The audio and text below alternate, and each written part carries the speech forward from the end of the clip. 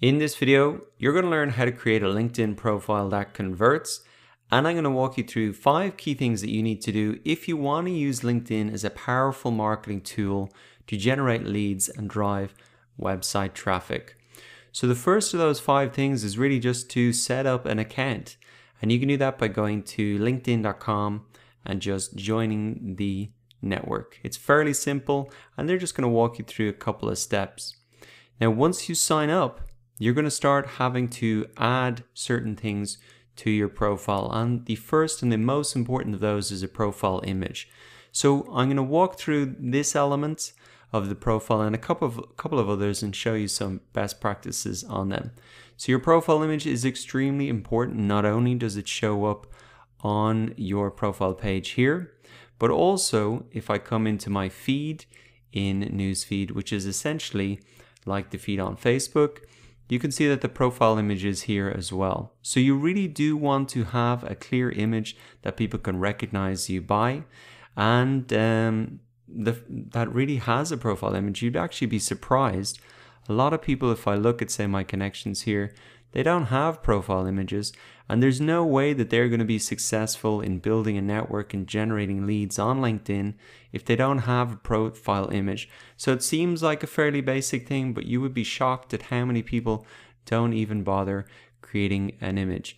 Now, in terms of the image itself, you can see uh, if I go back here to mine, it's quite a cl close cropped shot of my face there's nothing really distracting in the background there. And I think uh, hopefully you can recognize that's me fairly easily. Even if I was in the newsfeed here where the image is smaller or even smaller again, I think you could recognize that as me. And one thing that I've done here is I've kept this consistent across all of my social media profiles. So Twitter, Facebook, etc. It is important to keep it consistent. Now, in this image here, you can see it's kind of a yellow background and kind of blondie hair and so it's not jumping off the page as much. Maybe she could improve upon that a little bit. Even if I look into my network here let me get you a couple of other examples. Um, you can see this white background pops you, the person pops off it quite a lot. So a single colored background can often be good. You can see here there's quite a lot going on in the background which may not necessarily be bad, but it, it doesn't pop out as much as just a single color background, as you can see. Also, you can see a background here with a lot of, of writing in it, and I don't think that's a good idea because, again, it's hard to recognize a face when it's so small like that, and also the writing in the background is just distracting, and you can't actually see it very well. I think you'll agree here when it's like that. So for Joanne here, maybe what she could do is have a much get much closer to the camera, uh, have a plain background, and then it'd be easier to recognize her. And even just recognizing who someone is is the first step in order to connect with them. So the profile picture seems fairly basic, but you can see a lot of people do make mistakes on it, so it's just worth pointing out. Now, after you've uploaded your profile image, the next thing you want to do is create a headline. And this is something that I can even work on now. And I'm going to show you a couple of other examples. So I've just said here, marketer and online instructor. Now, actually, the best thing to do here is not to focus on just who you are or what you do, what the what the job title is, but actually to show how you can add value to people. So let me show you a couple of examples of this. So we have Mustafa here. He works in Microsoft and you can see he says, Digital Wizard helping you in a rapidly changing digital world. Let's connect. Now, I think personally he could maybe improve upon that a little bit and get a little bit more specific. Like, how is he helping people? Um, but he focuses on helping you in a rapidly changing digital world. So, that is a good headline because it shows that things are constantly changing. It is overwhelming to keep up with the constant change.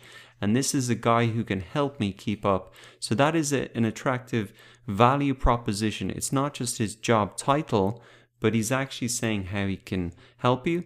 And also here, I think this is a great call to action to include let's connect. And that's something that can help you increase your connections automatically because you're giving that call to action and inviting people to connect. And also, you've given that value proposition of why they should connect in the first place. So you're saying why they should connect, and then you're saying let's connect and then there's a good chance that I'm going to do it. Now remember that this headline is probably the single sentence on your profile that's going to get the most amount of visibility. People are not going to scroll down all the way, you know, read through everything. 80% or 90% of, of what people are going to see is just on this single line alone. So it is worth giving a little bit of thought to. Let's have a look at another example of a good headline here. So helping clients stay secure by hacking them first before malicious hackers do. So that is a great value proposition as well. He's helping clients stay secure by hacking them first before malicious hackers do. So that's a great reason to get in touch with him or to connect with him or to hire him because he can help you stay secure before the bad guys do. So nice value proposition. Let's have a look at another example here. Uh, you can still include the role inside sales at Microsoft, empowering people every day in the UK market to achieve more. So this is a good one because it says the role, so it's clear exactly what they are. And uh, it's even more specific in terms of the market and you know what they're helping people to do. So those are three different examples of how can you can think about that headline. One have a clear call to action and create a value proposition for that. The other is to kind of give your value proposition again and show the negative effects of maybe not reaching out to this person. And then the other is do a kind of a combination to show the role so it is very clear what exactly your role is and then even maybe get some specifics in terms of the marketplace. Now, if you want to edit your headline, very simple. Um, you can just come in and you can go ahead and edit it there. Okay, so I've just taking a look at some of those best practices and examples, updated my own. Instructor Udemy empowering small businesses to grow with digital marketing. It might be a little bit long. Let's save this and see how this looks. I can just click OK. So I think that looks pretty good there for a first draft. Maybe I'll come back and try and get this down onto one line. But you can see I think that's a lot better than it was before where it was just essentially what my role was and there wasn't much of an incentive for people to connect or to reach out to me um, because it didn't say exactly how I could help them. So I think that's a lot better and I would take these uh, best practices into account for yourself. So we've talked about creating your account, we've talked about the profile image, we've talked about the headline, and now let's talk about the summary. And this is something that I could work on as well. Now, one of the cool things that I've noticed on LinkedIn is that they have actually, once you've started to update your profile a little bit where you've worked, they have actually pulled together a summary for me. So writing a summary can be hard. That's why we've created one for you to get started. So if I look at this summary, it says experienced instructor with demonstrated history working in e-learning industry, skilled in marketing management, negotiation, business planning, sales, e-commerce, strong education, professional graduated. Okay, so some of that is accurate and actually surprisingly good summary that they've pulled together through artificial intelligence, I think. So I can, if you have that option, you can just add that in to get started. Now I will need to edit this a little bit again. And before I do, I would recommend you have a look at some examples again. Now to see how I could improve this, let us look again at these examples to see what we could do better. So if we look at Mustafa here, okay, so he is talking a little bit more about himself here now. Um, and I would even say if he focused more like he did in the headline here, where he did on how he can help you, then that is going to uh, keep people reading and, and reading down. But the interesting thing that he's done here is he says how to reach him. Reach me on LinkedIn message. He gives his phone number and he gives an email. And he also has a little call to action if you could endorse my skills. So this is, I think, the most interesting part of this profile here and something that you could just copy and paste and put on your profile as well. He gives a little bit of background in terms of uh, what he's done. But then this is very interesting. Reach me on, say, a LinkedIn message. So I can open up and edit my summary again. Obviously, I'll have to change the number. But this is a great idea because if the purpose of your LinkedIn profile is to generate leads and connections and potential customers, then make it easy for them to reach out to you and give them specific instructions about how to do that. You could even narrow that down to one and say, best way to reach out is through LinkedIn or by email. So I'll just uh, leave that there for the moment. I think that was a good idea from that profile. And now let's look at Terry here to see what he's going come into. Again, you can see call me directly. And he's actually put in a little symbol, which is actually a pretty cool idea and something that I could do. Call me directly. And that's even a nice little thing to put in because it shows that um, you know they're going to be talking directly to Terry. Here's another great example for book a free consultation with me. Great idea. Please visit for media interviews, visit Terry, blah, blah, blah. So, what I like out of this is let us take this again.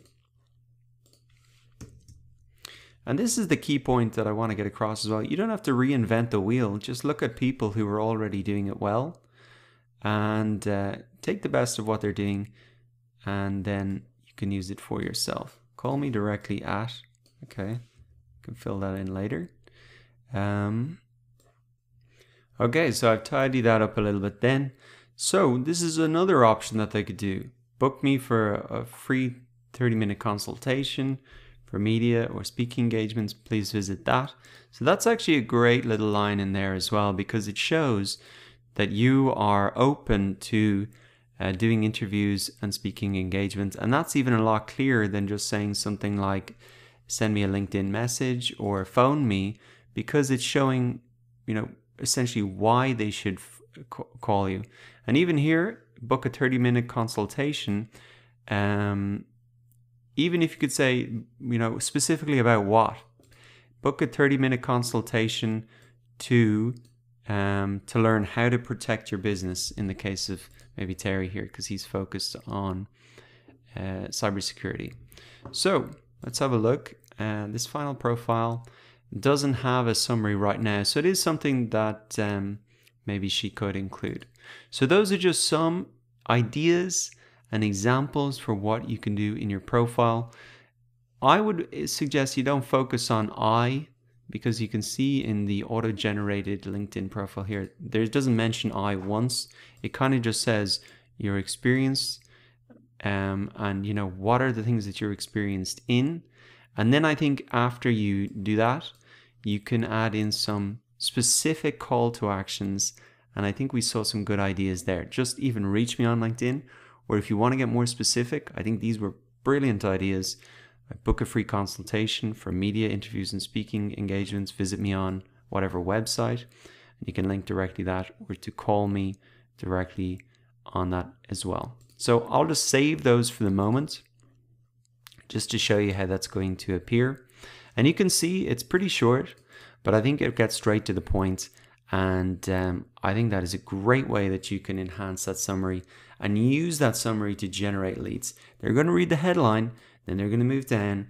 And so it is important to remind them to connect or just keep moving in the page to read more about you. Now we've already looked at three of the five things that you can do, adding the profile image, headline, summary, and now we're looking at the fourth thing that you can do to generate more leads or grow your presence on LinkedIn, and that is to create a custom URL. So I've already done it here, but you're going to find this option in the sidebar under your contact and personal information. And down here, you can create a customized URL for your LinkedIn profile. And this is great because you can put it on business cards and it's not just a long string of random numbers and letters, but you can just edit that for yourself. You can put that on business cards. It looks great on a website. It's a short link that you can paste anywhere. And it just uh, is a great thing to do, similar to what you might do on Facebook or YouTube. You can create that custom URL, very, very handy, and you can just edit it in there. Your, your own name might not be available, And so luckily mine was just first name, surname. If you your name isn't available, one great tip is just to put your middle initial. So my middle name is Michael, so I would just have put Dara M Walsh, and probably that custom thumbnail would have been available. So use your middle name as a middle initial if your first name surname is not available. Now, the final thing that you can do to build a profile that converts is also add in your website URL. You can also put your phone number in here as well and your email here as well. So we have said that we will put this in this information in our summary, but not everybody looks to the sidebar here, but it's great to have this information here as well. And that'll help you get more contact from people and also get more traffic to your website because it's listed here. And you can set that up to either goes directly to maybe an email sign up form where they get a free PDF. You don't just have to send them to your profile, you can be quite creative with that. And that's something you can actually do in your summary as well. If you're linking off to your website, you could say, you know, get instead of a free PDF consult or a free consultation, you could say get a free PDF about the most important things in cybersecurity for 2018 as an example. Then they go there, they have to put in their email address and then you send them the PDF. But that's a great way to not just put a link necessarily to your homepage, but also use it as a way to get actually emails from LinkedIn. So now we have covered the five steps to build a profile that converts. Go ahead to linkedin.com, set up your accounts, and implement these five strategies so you can generate more website traffic and leads from LinkedIn. It's the first step to really starting, uh, and